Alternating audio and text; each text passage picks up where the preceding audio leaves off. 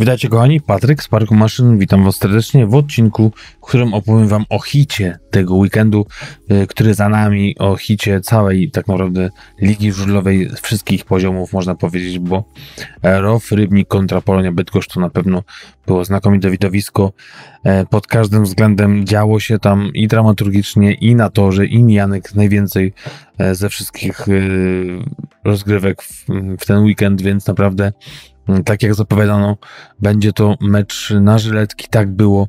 E, mecz, który obfitował mu, tak jak mówię, i w mijanki, i w torze, aż do dziesiątego biegu. E, wszystkie były rozstrzygane biegi, czyli 10 biegów i żadnego remisu. Potem na koniec trafiły się trzy. Ale to nie zmienia faktu, że znakomite widowisko oglądaliśmy na torze w Rybniku i to za sprawą obu ekip, bo też zmieniało się i prowadzenie, i to, jak zawodnicy poszczególni wyglądali na torze, więc naprawdę jest o czym opowiadać, chociaż kontrowersji nie za wiele, e, no to jednak e, tutaj była e, siła w tych drużynach, było też warunki brzegowe, o których też warto mm, wiedzieć, czyli braki kadrowe, ale to za chwilę, kochani. Tak jak mówię jeszcze raz, Park Maszyn wita Was serdecznie. Odcinek solowy z takich, a nie innych względów covidowo relaksacyjnych, że tak powiem, enigmatycznie, tak jak powiedziałem w poprzednim odcinku o pierwszej lidze, bo Darek e, w cudzysłowie robi w tym tygodniu Ekstraliga, ja pierwszą ligę z różnych przyczyn. Mieliśmy nagrywać to razem, ale no właśnie, nie będę już wchodził w szczegóły, może kiedyś e, coś tam opowiem, chociaż wcale to w ogóle nie jest ciekawa historia. W każdym razie E, posłuchajcie sobie odcinków Darka, zobaczycie, e, jak on to tłumaczy, może lepiej niż ja, e, bo ja nie wytłumaczyłem nic. Kochani, oczywiście zapraszamy do łapek w górę, do subskrypcji, do przeklejania naszego kontentu, do dzielenia się nim ze swoimi znajomymi. Może te algorytmy YouTube'owe w końcu gdzieś na nas wywindują. Tak jak nas windujecie e, na Twitterach, Instagramach i Facebookach. Ostatnio nawet, e, to trzeba się chyba pochwalić, jednego z naszych tweetów przekleił yy, przegląd sportowy, a jakby nie było to część onet.pl, więc no, jakaś tam satysfakcja z tego jest. E, bo gdzieś tam mm, mm, zostajemy poromowani przez różne mm, środki masowego przekazu, że tak powiem, ale to y, żarty na bok. Ja oczywiście zapraszam też do wsparcia finansowego naszego kanału na patron.pl łamany na Park Maszyn, tam można nas właśnie monetarnie wesprzeć od 5 y, zł przez 3 miesiące minimalnie E, ale też może maksymalnie w zależności od tego, jak chcecie, w górę e, do stówy. Mamy kilku takich patronów e, wiernych i trwających przy nas od już prawie dwóch lat, więc zapraszamy do dołączenia do tego grona i oczywiście żużlowa rodzina się razem trzyma, czyli wsparcie Andrzeja Szymańskiego, który uległ wypadkowi na torze właśnie w Rybniku w 2001 roku zawodnika między innymi Unii Leszno i Faluba Zielona Góra. Linki a propos tej akcji w odcinku y, w opisie oczywiście tego odcinka. Kochani, 49-41 y, pytanie, kto wziąłby taki wynik w ciemno przed meczem? Nie wiadomo tak naprawdę.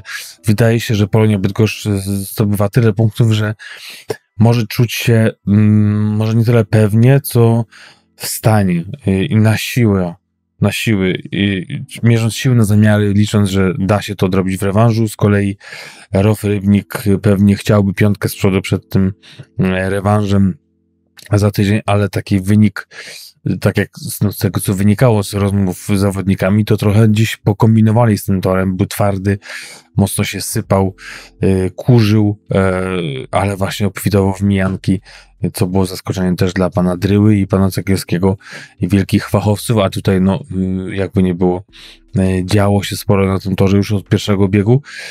Więc mieliśmy takie widowisko, mm, gdzie ostatecznie przechyliła się ta e, szala no, bardziej niż w meczu e, Ostrowa z Zieloną Górą, chociaż tam przyjezdni wygrywają, więc może troszeczkę e, mniejsza ta dramaturgia będzie w rewanżu. Tutaj wiadomo, 8 punktów będą bronić miejscowi, no już na wyjeździe bez Patryka Hansena, który uległ ostatnio wypadkowi e, strasznemu. Dobrze, że to wszystko się goi. Też Darek e, na Twitterze się podzielił takim, jak to on opisał, wtargnięciem sezonu na tor, kiedy to właśnie po meczu Patryk na wózku inwalidzkim pchany przez członka zakładu swojego teamu. Pozdrawiał kibiców, pokazywał, że jest z nimi, że jest z nimi na dobre i na złe. Zresztą miał ponoć zawody oglądać z jakiegoś tam balkonu. Ostatecznie siedział w parku maszyn.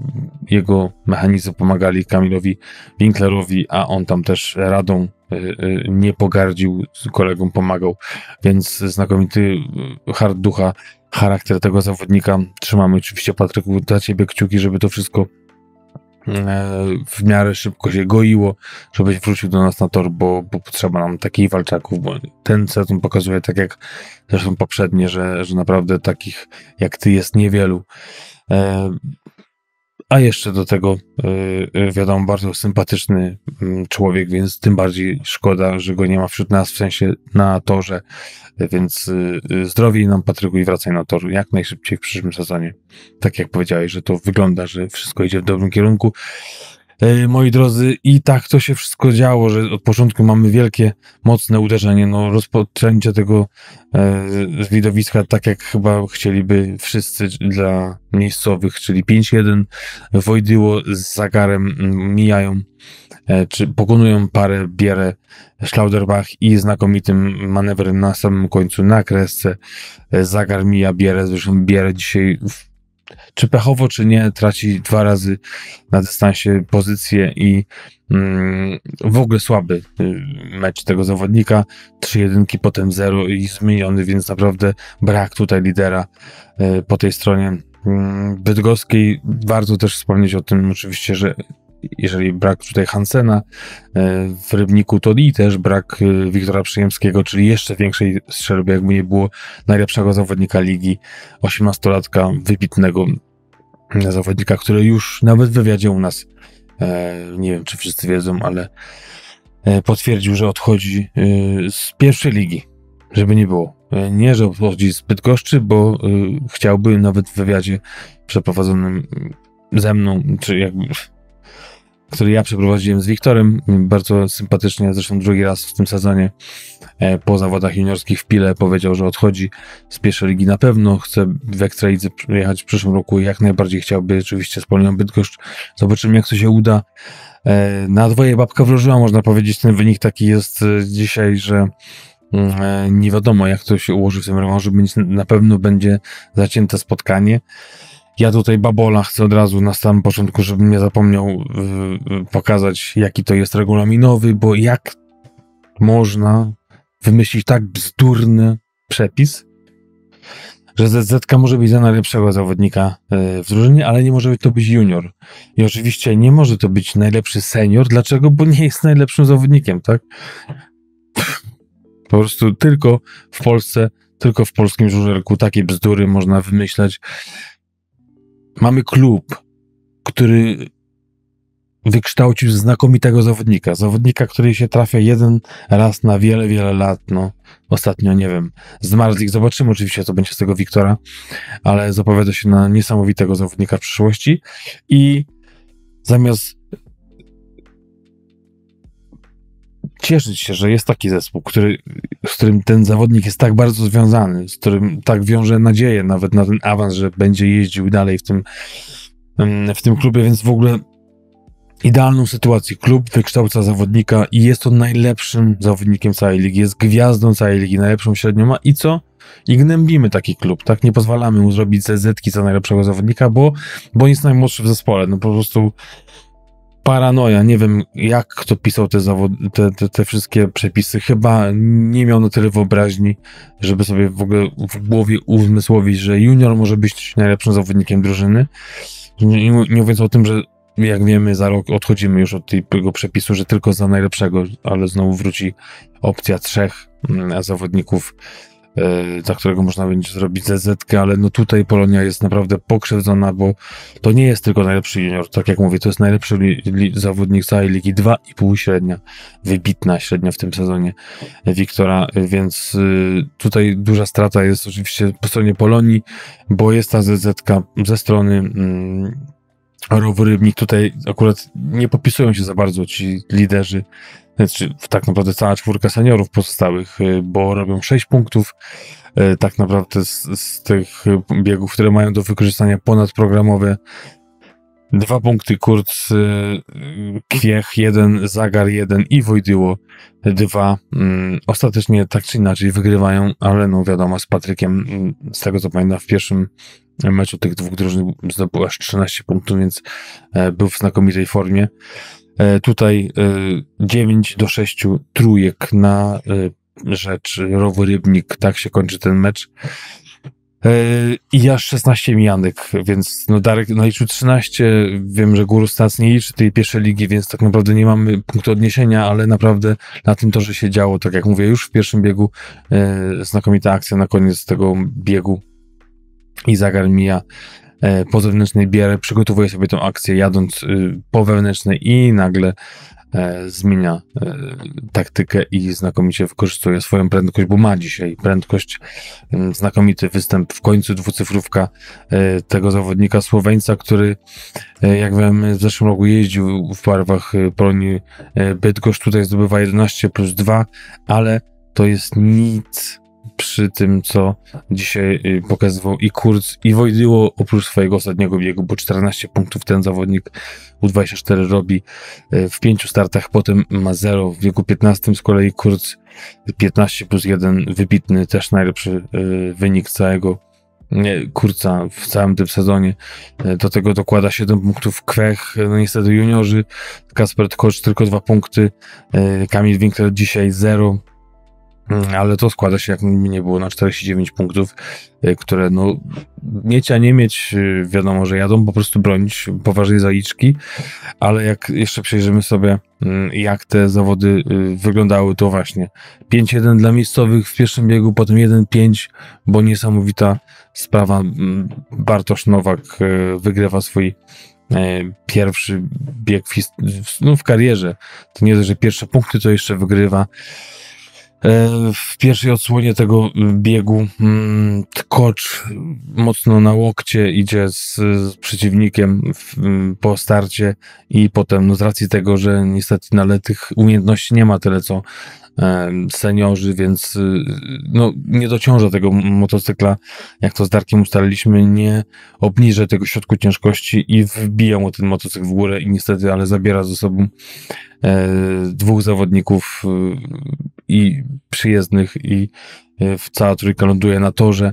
Jest wypadek, e, potem powtórka w czterech. Moim zdaniem jak najbardziej dobra decyzja tutaj się broni, bo właśnie wszystko zaczyna się od tego łokciowania e, z przeciwnikiem na, zaraz na postarcie, więc no potem tylko tak naprawdę ta, mm, to jak bardzo wybija ten motocykl, można powiedzieć, to jest e, wina tego, jak Kasper Tkocz, czy jeszcze ile ma do nauki, ale tak naprawdę to nie wszystko e, ma związek z tym, jak tą maszyną opanowuje, tylko to się dzieje przed właśnie o tym, po tej starczy z przeciwnikiem na łokcie E, potem mamy 2 do 4. Liager z Belego robią Wojdyło i Kwecha, który upada, ale zbiera się, chociaż gdzieś tam niszczy po drodze bandę i tak naprawdę też Krzysztof Zagielski moim zdaniem słusznie zastanawia się, czy nie powinien być ten bieg przerwany, bo nie wiadomo było w jakim stanie ten fragment bandy dmuchanej był na drugim łuku, no ale kontynuują te zawody e, i mm, chociaż Kwech się wraca, to szybko się zbiera i nie ma tutaj przerwania biegu. Tak jak zaczyna, tak i kończy te swoje zawody, bo w wieku 14 no, jest ta ambicja walki, jest ta ambicja, żeby mm, żeby wyprzedzać, bo, bo Kwech i Kurz to są najlepiej, byli najlepiej wyprzedzającym, czy najczęściej zawodnikami wyprzedzającymi w zeszłym roku i tutaj spotkali się w tym roku w jednym zespole. E, i to było widać dzisiaj też tych niesamowitych ataków z jednej i drugiej strony, szczególnie Kurz pokazywał, jak to ze Szczepaniakiem pojechał w biegu 15. Tam niesamowita akcja, z kolei Kwech, właśnie ten drugi przedstawiciel tych najlepszych wyprzedzających, nie popisuje się jednak na ostatni łuku, wjeżdża pod e, Szczepaniaka totalnie mu wytrąca, e, gdzieś tam łapie przyczepność, wytrąca mu ten motocykl i ścina po prostu Mateusza. Z racji tego, że to jest ostatni łuk ostatniego okrążenia, to zaliczają te wyniki na 3-3 i tutaj właśnie tak się kończą te dwa ostatnie biegi, ale 8-punktową przewagę już sobie ROW w E, pracował do biegu 13, gdzie było 5-1 kurs z Kwechem na Liegera i Schlauderbacha. Tutaj też y, niesamowita walka na dystansie i y, mamy jedną mijankę w biegu 14, dwie w 15, jedną. Naprawdę tutaj się dzieje od początku do końca tak naprawdę. E, I patrząc jeszcze na serię, jak to wszystko wyglądało, to właśnie mamy po pierwszej serii 4 punkty przewagi e, Bydgoszczy, potem zmniejsza się to do dwóch, po drugiej serii na dwa plus wychodzi Row Rybnik po trzeciej, 8 punktów, tak jak powiedziałem, po 13 biegu, czyli po czwartej serii i potem dwa remisy, więc ostatecznie kończy się e, tą przewagą miejscowych 8 punktami. I no, jadą bronić na pewno tego z całych sił, tylko jak spojrzymy sobie, moi drodzy, nie chcę tutaj rozstrzygać tego oczywiście e, dwumeczu, ale jak spojrzymy, jak spadają średnie zawodników rowu, to, to nie wygląda za ciekawie, bo Wojdyło, znakomity dzisiaj zawodnik 1,615 ma e, na wyjazdach. Kwech 1,690 też mu z ponad średniej 2 spada do, ponad, do poniżej 1,7. Zagar ma 1,770. Kurz 1,846, też jeden z liderów całej ligi. E, ten e, współczynnik biegu punktówki na wyjazdach ma dużo niższy, więc no, taka czwórka, która będzie też jechała oczywiście z DZ-ką za Hansena, musi wyrobić te przynajmniej 42 punkty, bo wiadomo, że w fazie zasadniczej byli niżej od Polonii, więc muszą się postarać y, o jeden punkt więcej zdobyć. Nie może być tu remisów w meczu, bo wtedy też przegrywają e, wejście do finału.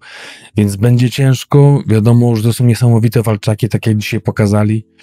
E, to jednak y, y, jest tam siła, jest wola walki, jest charakter, więc na pewno nie oddadzą tej, tego finału do końca, ale może być ciężko, bo Polonia, jak Polonia ma e, swoje problemy, ma swoje braki, ma liderów, którzy naprawdę zawodzą i dzisiaj też y, pokazywali, że nie do końca można na nich liczyć. To jednak z drugiej strony są zawodnicy, którzy pokazują się z dobrej strony. Taki na pewno jest y, występ dzisiaj Mateusza Szczepaniaka, który 6 razy zdobywa 12 punktów. Liager dzisiaj robi 11 plus 1, więc naprawdę y, to napawa optymizmem przed tym rewanżem. Buszkiewicz i Nowak robią 6 punktów przy dwóch juniorach, juniorach y, dwóch punktów juniorów, juniorów, przepraszam, mm, rowerybnik, więc to też jest dobry prognostyk, ale właśnie Kenio 3 punkty w czterech startach. Bellego robi trójkę, mm, ale tak naprawdę kończy z sześcioma punktami. Schlauderbach też dzisiaj y, tylko trzy punkty, więc naprawdę jest y, pole do poprawy, ale właśnie ci zawodnicy u siebie to są zupełnie inni zawodnicy. Wiadomo, nie ma Przyjemskiego, nie ma tej parszywej ZZ-ki za tego najlepszego zawodnika drużyny, ale myślę, że, że jest jednak lekka przewaga Polonii Bydgoszcz z racji tego, że będą u siebie, że te średnie są poza może Keniem, bo Kenią z tego co kojarzę to ma 2,07 na wyjeździe, a u siebie 1,7, ale reszta zawodników ma zdecydowanie wyższe średnie e, u siebie. Chyba jeszcze tylko Schlauderbach ma, ma, ma trochę wyższą na wyjeździe, ale no tutaj było fatalnie, więc tylko może chyba lepiej e, w tym meczu u siebie.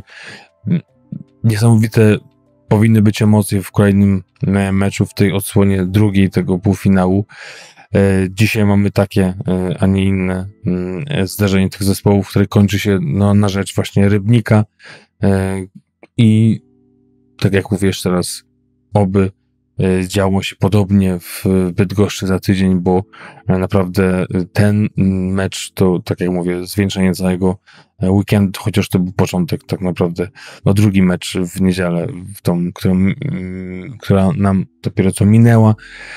E, więc trzymam kciuki za widowisko. Wy oczywiście dajcie znać w komentarzach, co myślicie o, czy były jakieś sytuacje sporne. Wiadomo, że Kwech dostał żółtą kartkę za to, co się stało w wieku 14. Moim zdaniem e, bardzo mm, dobra decyzja, bo naprawdę tak nie można atakować. Trzeba e, przemyśleć to wcześniej. Ja rozumiem, że tam wyciągnęło Czecha i to nie było e, intencjonalne zachowanie, ale jednak e, trzeba mieć większą wyobraźnię i nie wchodzić z takim impetem po prostu w łuk e, i nie starać się za wszelką cenę wyprzedzać, bo już w biegu, mm, teraz nie pamiętam który, ale mm, też w jednym takim, w którym chyba, w którym chyba Jagera wyprzedza, tam też y, nie, Bierę, Keneta Biera. Bierę bodajże szósty bieg, tam też jest blisko tego, e, żeby mm, zahaczył tego Duńczyka. E, też go wyciąga na, na drugim łuku ostatniego okrążenia i wyjeżdża przed, przed Kenia E, ale tak naprawdę wszystko zaczyna się od błędu, od tego, że go wyciąga z tego krawężnika, gdzieś tam próbuje e, wykorzystać ten, ten, ten impet, który od, właśnie od tego e, od tego no, nieplanowanego, można powiedzieć, manewru otrzymuje i, i z tym impetem no nie dotyka, nie, nie ma kontaktu między nim a, a bierę i dojeżdża na tej drugiej pozycji, robi show oczywiście, ale trochę taki już jedzie bez głowy, można powiedzieć tak, no bez ucha przynajmniej, tak, a, a potem w tym biegu 14 już e, zwieńczenie tego jego występu y, niestety negatywne, ale tak czy inaczej walczak jest, tylko po prostu troszeczkę z innej głowy i, i będzie z niego niesamowity jeździec. Kto wie, może i w przyszłym roku w Grand Prix, może mu się należy, przynajmniej taka jest opinia Darka. Oczywiście mm, tutaj, którego to e, zespół będzie reprezentował w przyszłym roku, mm, Kwech, wiadomo, falobazo Zielona Góra. To tyle, moi drodzy. Tak jak mówię, mecz ciekawy. Zobaczymy, co to będzie dalej w rewanżu. Dziękuję serdecznie Wam za uwagę. Patryk, Park Maszyn, odcinek solowy. A propos e, pierwszego meczu półfinału pierwszej Ligi Żużlowej sezonu 2023 właśnie się zakończył. Ja oczywiście zapraszam Was do zostawienia lajków, do komentarzy a propos tego meczu, tego odcinka też oczywiście e, i też na Spotify do zaglądania. Oprócz tego, że na YouTubie, to tam też można nas i subskrybować i słuchać, jeśli chcecie tylko w formie głosowej. E, Instagramy, Twittery, Facebook i tam też można y, na te nasze socjale zaglądać, zobaczyć, co się u nas dzieje. Mm, na patronie.pl, na Park Maszyn można nas wesprzeć finansowo, a Andrzeja Szymańskiego, do której to akcji przyłączamy się od początku sezonu do końca. Linki a propos pomocy tego byłego, temu byłemu żużlowcowi, między innymi falobazu Zielona Góra i Unii Leszno w opisie tego odcinka. To tyle. Patryk z Parku Maszyn żegnam Was i życzę Wam udanego tygodnia. Trzymajcie się. Pa!